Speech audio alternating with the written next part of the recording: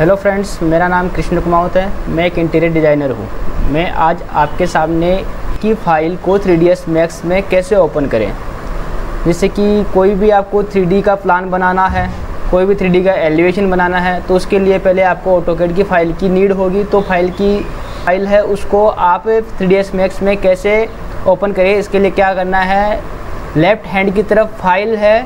File के ऊपर आप जाओगे, यहाँ पे लिखा होगा इम्पोर्ट तो इम्पोर्ट में जाने के बाद इम्पोर्ट इम्पोर्ट के बाद में जो हमारी जो आपकी जो फ़ाइल पड़ी है, कहीं भी जैसे मेरी ये फ़ाइल डेस्कटॉप पे ये फ़ाइल पड़ी है, इस फ़ाइल पे क्लिक करेंगे। क्लिक करने के बाद में यहाँ पे करेंगे ओपन ये जो सेटिंग आएगी, इसकी सेटिंग को छेड़ना नहीं है। बिल्कुल भी इसको डिस्टर्ब नहीं करना। जैसा है, इसको ऐसे कैसे करना है, किसी भी सेटिंग के ऊपर क्लिक नहीं करना और यहाँ पे सीधा ही ओके करना है। ओके करने के बाद में आपके पास ये ऑटोकेड की फ़ाइल 3ds मैक्स में आ जाएगी।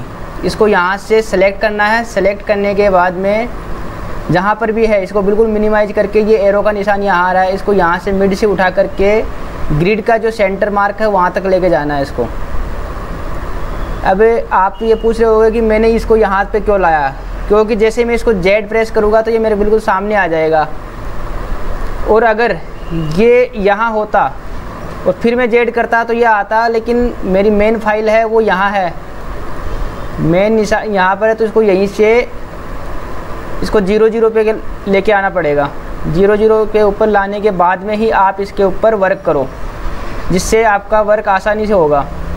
ये ऑटोकेड की फ़ाइल हमारे पास यहाँ ओपन हो चुकी है। इसके बाद में हम यहाँ पे ये है सेप्स सेप्स के अंदर है स्प्लाइंस स्प्लाइंस में लाइन और रेक्टेंगल इन दो ही कमांड्स की मदद से हम इसका थ्री प्लान बनाएँगे। तो थ्री प्लान बनाने के लिए हमने सेलेक्ट किया सबसे पहले रेक्टेंगल रेक्टेंगल के लिए एस सेगमेंट ऑन होना ज़रूरी है। सेगमेंट के लिए राइट क्लिक क्लिक करेंगे तो ग्रिड पॉइंट ऑफ़ करेंगे वर्टेक्स पे ऑन करेंगे और एज एंड सेगमेंट पे ऑन इसको हटा देंगे। Mid point end end point click करेंगे। इसके बाद में यहाँ से first click and second click यहाँ पे बाद मॉडिफाई में जाएँगे। मॉडिफाई में जाने के बाद में एक्सट्रूड एक्सट्रूड कर देंगे इसको।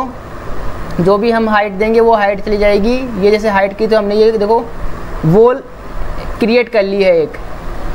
अब ये दूसरी वॉल के लिए इसको कॉपी करेंगे। इसको कॉपी करने के बाद में सेगमेंट ऑन करके इसको उठा करके यहाँ रख लेंगे। तो ये दूसरी वॉल भी हमारी क्रिएट हो चुकी है। ऐसे ही हम एक एक करके सारी वॉल्स क्रिएट कर लेंगे।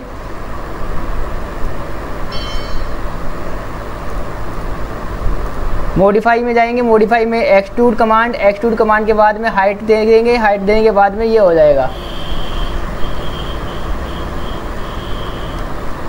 तो देखिए दोस्तों, हमने आपको आज एक ऑटोकेड की फ़ाइल को 3ds मैक्स में कैसे इंपोर्ट करते हैं, ये हमने आपको सिखाया। हम, हमारी जो नेक्स्ट क्लास होगी, उस नेक्स्ट क्लास में हम बताएँगे कि 3D डिज़ाइन कैसे बनाई जाती है। 3ds मैक्स के अंदर आप 3D ऑटोकेड की फ़ाइल से 3D डिज़ाइन कैसे कर सकते हैं। थ्री का जो एलिवेशन है, वो आप कैसे बना सकते हैं?